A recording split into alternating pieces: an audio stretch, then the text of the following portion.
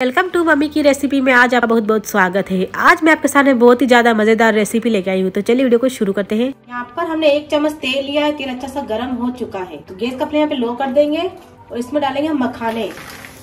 यहाँ पे हम मखाने दो कप डालेंगे। यहाँ पर हमने दो कप मखाने लिए इनको अच्छे से भूनना है।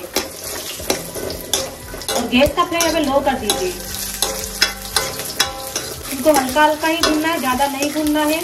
इसमें हल्का सा नमी होती है वो निकल जाए। आपको दिखाती हूँ, ये इस तरह का हो जाए तो आपको इसको निकाल लेना है प्लेट के अंदर। यहाँ पे रोस्ट हो चुके हैं तो इसको हम थाली के अंदर ले लेंगे। यहाँ पर हमने सभी थाली के अंदर निकाल लिए हैं, आप यहाँ पे देख सकते हैं। यहाँ पर हम आधा चम्मच तेल और डाल रहे हैं, और अच्छा सा गर्म होने दीजिए। तेल यहाँ पे अच्छा सा गर्म हो चुका है। इसके अंदर डालेंगे हम कुछ खड़े मसाले। खड़े मसाले में सबसे पहले हम आधा इंच अदरक का टुकड़ा, चार लौंग, पाँच से दस काली मिर्च, एक बड़ी साबुत काली मिर्च और दाल चीनी का टुकड़ा और दो तेज पान के पत्ते। यहाँ पे हम सभी खड़े मसालों को एक साथ डालेंगे और एक चम्मच यहाँ पे जीरा डालेंगे।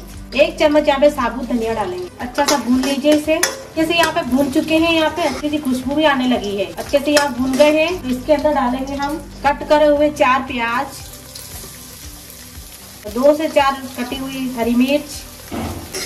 सभी को एक साथ भूनना है। हल्का सा सुनहरी हो जाए जब तक भूनना है। और इसमें मैं अदरक भी डाल दिया है। आधा इंच अदरक का टुकड़ा। एक से दो मिनट अच्छे भून लीजिए, हल्का हल्का सुनहरी होने तक। चाहो तो इसमें लहसन भी डाल सकते हो। मैंने यहाँ पे लहसन नहीं डाली है। अच्छा सा भून लीजिए इसको एक से दो मिनट तक। थोड़ा सा इलायची पाउडर। अगर आपके पास इलायची है, साबुत, दो इलायची डाल सकते हो। अच्छे से मिला लीजिए। अच्छे से भून चुके हैं। आप यहाँ पे देख सकते हो, सुनहरी कलर के हो गए हैं। तो इसके अंदर डालेंगे हम चार टमाटर कट करे हुए।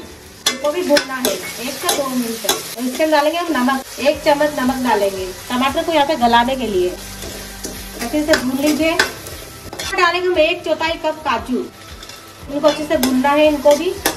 मैंने यहाँ काजू का टुकड़ा लिए अगर वापस साबुत काजू हो तो ले सकते हैं। यहाँ पर सभी चीज़ें अच्छे से पक चुकी है और यहाँ पे तेल भी छोड़ने लगा है। तो हम यहाँ पे आधा मसाले को निकाल लेंगे। काजू, टमाटर और सभी को हम थोड़ा निकाल लेंगे, एक से दो चम्मच। आधा हमने यहाँ पे निकाल लिया है, आधा इसमें है।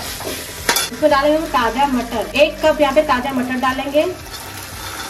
और अच्छे से भूनेंगे एक से दो मिनट तक भूनना है, जब तक हल्की सी सॉफ्ट ना हो जाए यहाँ पे हल्के हल्के भून रहे हैं, जब तक हम मसाले को पीस लेते हैं। तो हमने यहाँ पे टमाटर और सारा पेस्ट यहाँ पे निकाला, इसको मिक्सी के जार लेके ग्राइंड कर लेंगे। और मैंने यहाँ पे एक होता है, यहाँ पे काजू थे, मैंने सभी इसमें डाल लिए हैं। अगर आप चाहो तो थोड़े रख सकते हो, बाद में डाल सकते हो। सभी एक साथ ही डाल लिया था। तो इनको ये भूनते हैं, जब तक हम चले इसको पीस के तैयार कर लेते हैं। हम कढ़ाई की तरफ़ हल्का सा भून चुकी है, मटर यहाँ पे हल्की सॉफ्ट हो चुकी है। यहाँ पे हमारा पीस के तैयार हो चुका है। यह दिखा दीजिए इतनी अच्छी ग्रेवी हमारी बन के तैयार हुई है। सभी को इस तरह इसमें डालना है।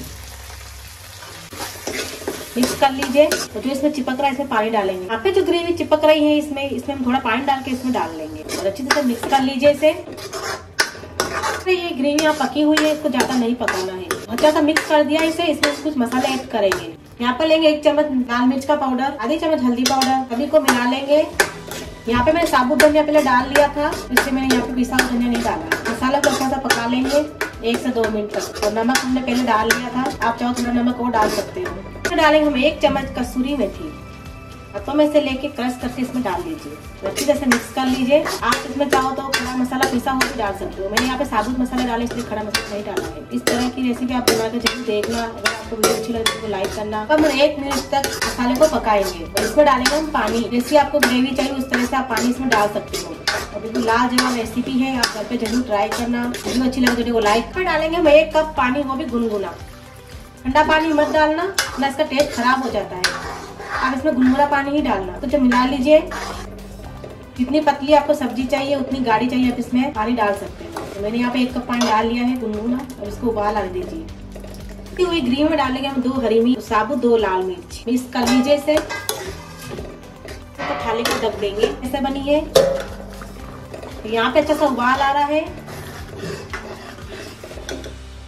अंदर मैंने सभी मखानों को डाल दिया है, आप यहाँ पे देख सकते हो। इसमें डालेंगे हम ताज़ा मलाई दूध। यहाँ पे हम दो चम्मच दूध की मलाई डालेंगे। अगर आप चाहो तो आप अमूल क्रीम भी इसमें डाल सकते हो। यहाँ पे मैं दूध की मलाई ली है, इसको अच्छे से फेंट लेना है। फेंट चुकी है मलाई तो सभी मलाई को इसके अंदर डालना है। मिक्स कर लीजिए। इसमें डालेंगे कटा हुआ धनिया, एक चौथाई कप। यहाँ पे हमारी सब्ज़ी अच्छी से रेडी हो चुकी है, आप यहाँ पे दे सकते हो। तो बिल्कुल लाजवाब सब्ज़ी बनी है, आप घर पे ज़रूर ट्राई करें। तो यहाँ पे हम गैस का फ्लेम बंद कर देंगे और उसे ढक के रखेंगे बंद कर देते हैं, सब्ज़ी यहाँ पे रेडी हो चुकी है। उसके ऊपर हम थाली को ढक देंगे। मटर मखाने की सब्ज़ी यहाँ पर रेडी है, आप यहाँ पे देख सकते हो। बिल्कुल लाजवाब टेस्टी सब्ज़ी बनी है। आप घर पे ज़रूर ट्राई करना इस सब्ज़ी को। और बिल्कुल शाही पनीर और मटर पनीर सभी को पीछे रखने वाली सब्ज़ी है। अगर वीडियो अच्छी लगे तो वीडियो को लाइक करना और नए है तो चैनल को सब्सक्राइब करना ना भूलें। मिलती हूँ आपको नेक्स्ट वीडियो में। तब तक के लिए बाय